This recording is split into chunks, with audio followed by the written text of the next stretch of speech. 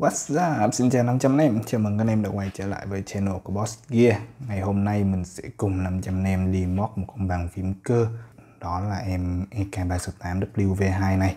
Em này là một trong những cái con bàn phím cơ mà mới nhất của thằng Itera. Thì nó có trong tay những cái công nghệ mà mình thấy cũng khá là ok. Ví dụ như là hot swap 5 chân Và cũng như là có wireless 3 mod đầy đủ các chức năng luôn. Và nó cũng có cả LED RGB nữa và bây giờ hôm nay mình sẽ cùng đi ờ, thử xem thử con này nó có thể tốt hơn khi mà mình móc không nhá ok let's go.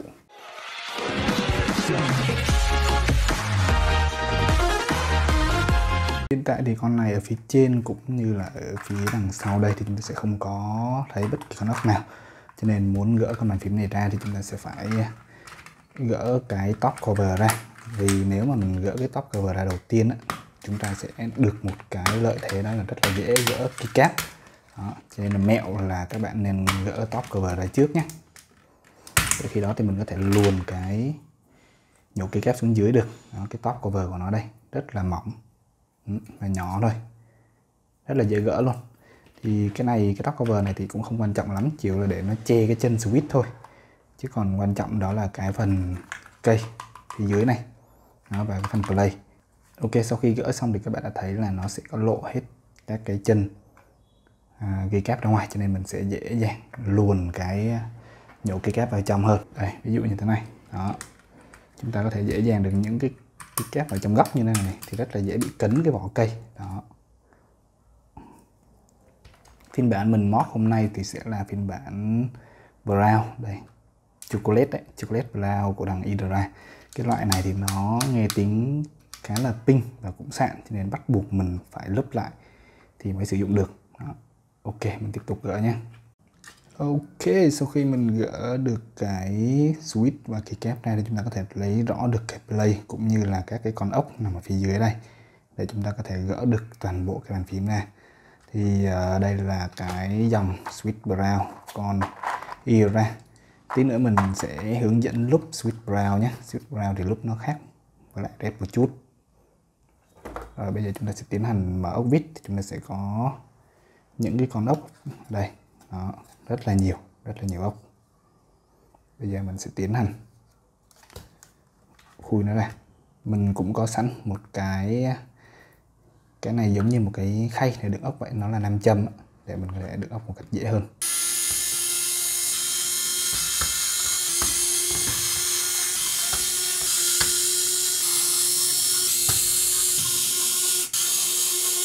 Ok và đây chính là cái số ốc mà cả nằm ở trên cái play của con Idora 368W này. À, phải nói là rất là nhiều nhiều kinh khủng khiếp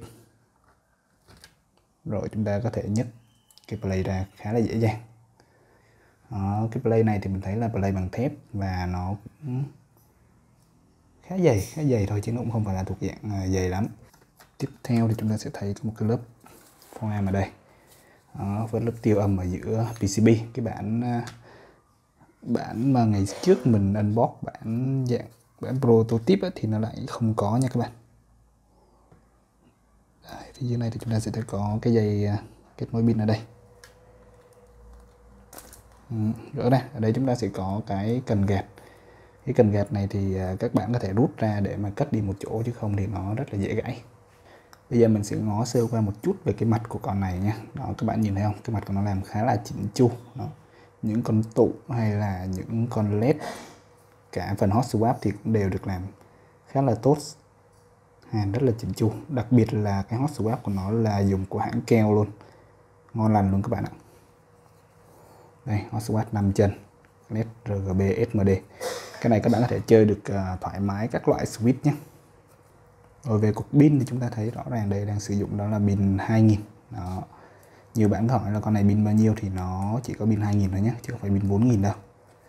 Ở đây thì chúng ta thấy là cái cây của nó thuộc dạng cái cây mỏng cho nên là sẽ không có nhiều lỗ trống. Nó chỉ có một số cái khoang trống ở đây. Đó. Thì chúng ta có thể dùng cái foam chúng ta lót nhẹ vào là được. Không có chống chảy nhiều như những cái con kia. Ok, như vậy là mình đã lót xong foam của cái đáy của con này thì con này thực sự thì nó khoang của nó rất là ít cho nên mình chỉ có thể lót được những cái tấm ờ, mỏng mỏng như thế này thôi. Đó, siêu mỏng như này thì mới được.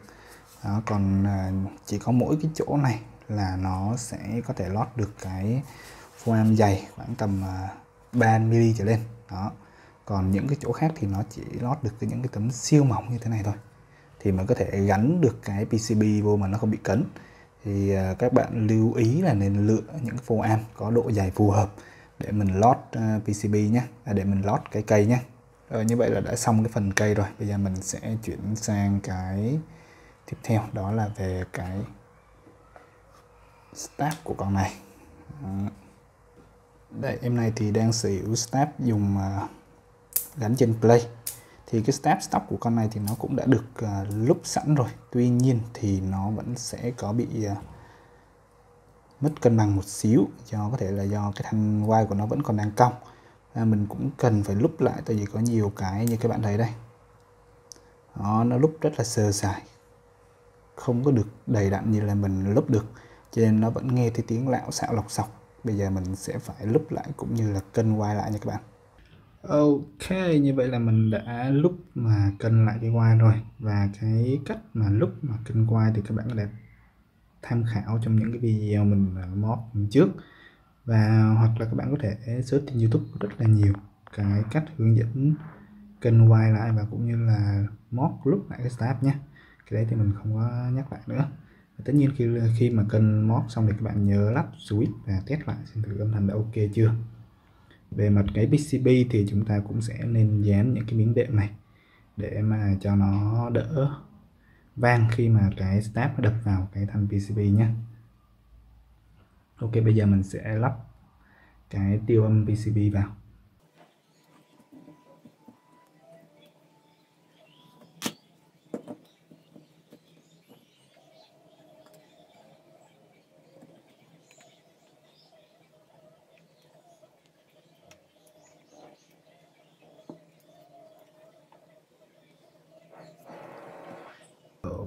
Về cái à, về cái switch brown của em này. Thì à, để mà lúc cái switch brown này thì các bạn lưu ý một số cái chi tiết nhỏ. Đây đây là cái switch brown và cái switch brown thì nó sẽ có một cái g của cái slide này. Đó, cái g nó hơi nhô nhô lên đấy. Thì các bạn đừng lúc vào cái phần này. Nếu mà các bạn lúc phần này thì nó sẽ mất luôn cái cảm giác khất khi mà cái khất này đi ngang qua thì nó sẽ trơn luôn. Gần giống như red mà mình sẽ rất là khó cảm nhận. Nếu như mà anh em thích chơi tắc thai thì à, các bạn không nên lúc. Còn nếu như các bạn muốn lúc thì nó sẽ mượt và nó cũng sẽ mất luôn cái tắc thai nó gần như rét luôn. Và chúng ta sẽ vẫn lúc xung quanh slider như thế này lúc mỏng thôi nha các bạn. Đó, ok về switch thì như thế thôi. Và một cái lưu ý nữa là cái cái housing của con này tức là cái top ạ đó, nó sẽ khá là chặt và cứng. Cho nên khi các bạn à, mở ra lúc thì các bạn nên ấn vào cho nó khít. Ờ, có thể là cái ngàm của nó sẽ bị ờ, bên ra một xíu vì cái này nó làm rất là cứng và chặt nữa. Đó. thì các bạn ờ, nên bóp nó lại một xíu rồi trước khi lắp vào nha. Và những con switch này thì mình đã lúc hết rồi. Bây giờ mình sẽ lắp cái đống switch này về trên PCB nha. À, trước khi lắp switch thì chúng ta sẽ lắp cái mặt này vào lại trong cái cây. Cũng khá là đơn giản thôi. Đó, lắp lên thì chúng ta xem thử mọi thứ có hoạt động bình thường không. Ok rồi thì mình dán lại. À mình quên một thứ cực kỳ quan trọng nữa. Đó chính là cái lỗ để mà đưa cái à, cần gạt xuống. Mình chưa có khoét. Ok bây giờ mình sẽ quét lỗ ở đây nhé. Rồi vậy là mình đã khoét một lỗ như thế này ở đây rồi. Đó chúng ta có thể bây giờ thì chúng ta có thể lắp được cái, cái công tắc này vào. Thì các bạn lưu ý là cái công tắc này mình hồi nãy mình đã có lấy ra rồi đấy bây giờ mình sẽ gắn lại thôi. Ok sau khi lắp cái à, play vào trong lại PCB thì các bạn nhớ lưu ý là để ý xem thử coi là cái cổng tai C này khi mình ấn xuống thì nó đã lọt vào cái, cái lỗ chưa. Tại vì nhiều khi mình lắp quá dày thì nó sẽ bị cân lên là lúc ta sẽ không có ca gắn được các cái cổng tai si vào đây được nữa. Nó sẽ bị lệch và nó cũng sẽ bị dễ bị cong bên cái mặt này nữa cho nên mình phải lưu ý nhé. Rồi, bây giờ mình sẽ lắp cái à, mình sẽ bắt vít lại.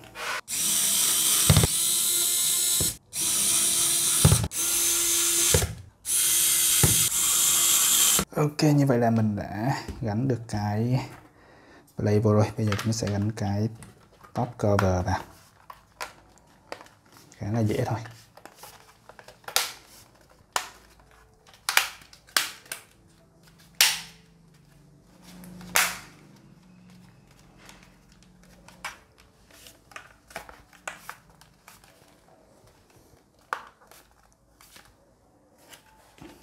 Đó, các bạn nên check lại cái cổng tai C nhé. Khi các bạn gắn vít vào mà nó vẫn ok như thế này thì tức là cái lót của bạn nó không quá dày để mà bị cộm cái PCB lên. Rồi bây giờ sẽ tiến hành lắp switch thôi. Sau khi lắp switch vào xong thì các bạn nên mở lên test lại thêm một lần nữa xem sao. Xem thử coi là cái bàn phím của mình vẫn hoạt động bình thường hoặc là có cái có cái switch nào mà nó không nó không nhận hay không. Đó. Thì các bạn cứ để cái chế độ led như này này. Đó, các bạn cứ bấm từng cái một. Nếu như có vấn đề gì thì chúng ta có thể khắc phục kịp thời. Còn nếu như mà ok thì chúng ta lắp cái cáp vào thôi.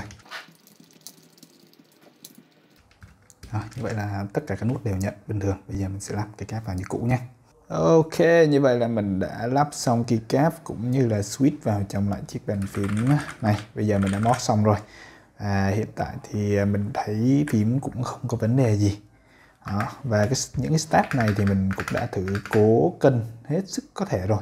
Tuy nhiên thì nó là snap à, uh, stop mà cái play này nó cũng không được ngon cho lắm cũng như là cái snap này nó không có được ngon cho nên là khi mà mình sử dụng thì nó vẫn không thể được hoàn hảo được à, nhưng mà mình đã làm hết sức có thể đối với em này bây giờ thì mình sẽ cùng cho các bạn nghe cái tiếng ờ, xào test giữa cái phiên bản chưa móc gì hết và phiên bản đã móc nhé.